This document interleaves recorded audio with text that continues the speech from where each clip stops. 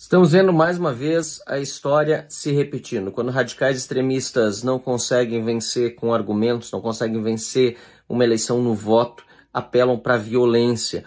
A tentativa de assassinato de Donald Trump nos Estados Unidos precisa ser severamente repudiada. E é por isso que aqui, é, nessa minha manifestação, eu quero declarar toda a minha solidariedade ao presidente, ex-presidente Donald Trump, também ao é, a pessoa que faleceu é, durante o seu comício e manifestar também meu profundo repúdio e indignação à apuração, entre aspas, jornalística feita por vários meios aí que estão tentando passar pano para esse inacreditável evento.